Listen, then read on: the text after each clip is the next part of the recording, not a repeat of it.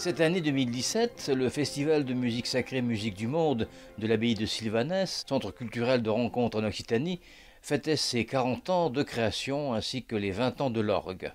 Une riche production de concerts et la venue de nombreux artistes ont auréolé ce 40e anniversaire. Le 14 août, la Pologne était à l'honneur avec l'orchestre de chambre de la radio polonaise Amadeus, dirigé par deux femmes, la mère et la fille, Agnieszka Duxman et Anna Duxman-Mroz.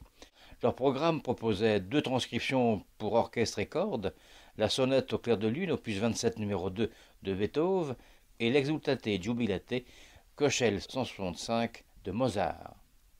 Agnieszka Duxmal est la première femme à s'être produite à la Scala de Milan et sa fille Anna Duxmal-Mrose a été déclarée chef sensationnel par la presse allemande et s'est rapidement imposée comme l'une des meilleures femmes chefs d'orchestre. Nous les avons rencontrées après la répétition en compagnie de la charmante interprète qui a, nous a aidés pour l'entretien et qui a bien voulu nous donner son nom. Le mien, Katarzyna Liszkowska.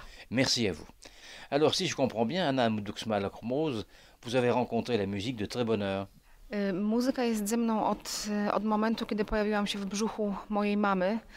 Alors, elle tombait dans la musique encore dans le ventre de sa maman qui a, oui, qui a fondé cet orchestre il y a 50 ans. Alors, euh, Anna, elle dit que moi, je suis avec cet ensemble depuis 35 ans. Agnieszka? E, Nawet e, kiedy miała dopiero... Même quand il était depuis trois mois dans le ventre de sa maman, elles tous les deux ont euh, conduit un concert à Chambéry en France. Agnieszka, alors vous avez choisi un programme Beethoven, Moussorgsky et Mozart. J'ai vu que vous avez comme, fait comme Ravel arrangé euh, les tableaux d'exposition. E, Oui, oui. E, Moje opracowanie to na orkiestrę smyczkową, więc trochę inne niż Ravel, ale la- l'arrangement que j'ai fait, euh, c'est pas comme chez Ravel, parce que chez moi, ce n'est que l'instrument des cordes. Mais grâce à ça, euh, le tableau ont réussi à avoir de- plus de couleurs, euh, de couleurs nouveaux. Anna Wojciech Kilar, jeden z najsłynniejszych polskich kompozytorów, powiedział, że sam Ravel nie zrobiłby tego lepiej. Un des plus grands compositeurs contemporains polonais, Wojciech Kilar, même lui a dit que même Ravel n'aura dû le faire mieux. Anna, je vous ai observé tout à l'heure en train de diriger et vous avez une belle maîtrise. Dziękuję serdecznie. E, Praca z taką orkiestrą Oui, le travail, merci pour le compliment. Le travail avec cet orchestre, orchestre cette chambre, c'est toujours euh, grande joie, mais c'est aussi euh, la possibilité de développer. Alors c'est moi qui, qui- qui me maîtrise avec les musiciens de ce niveau. Agnieszka, c'est la première fois que vous venez à Sylvanès. Comment trouvez-vous l'acoustique de l'abbaye? Jak- e, jesteśmy zachwycone tym opactwem. E, Robi na nas On est absolument impressionné par cet endroit, par l'abbaye, par l'histoire. On sent ici l'histoire, on sent la nature et l'art et l'acoustique. C'est ce qui nous surprend. Oui, elle est exceptionnelle, mais elle nous surprend dans chaque mot. Alors je vais vous laisser vous préparer. Bon concert et merci à vous trois. Merci beaucoup. Merci beaucoup. Merci.